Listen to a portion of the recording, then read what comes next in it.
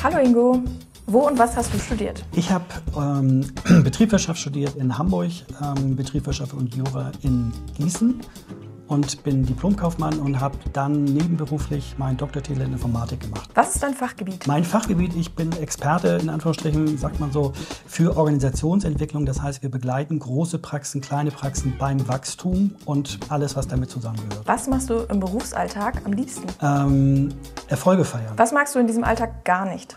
reisen, Lieber eine Praxis komplett neu aufbauen oder eine bestehende Praxis beraten?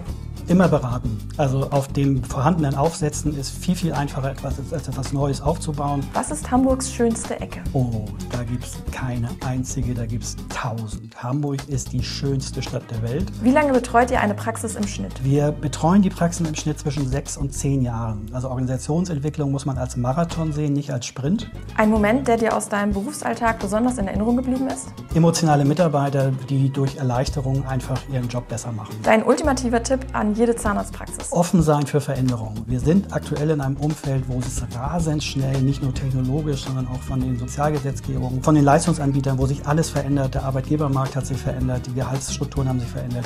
Also man muss offen sein. Was ist das Besondere an Krokodilszenen? Oh, das ist eine gute Frage. Keine Ahnung.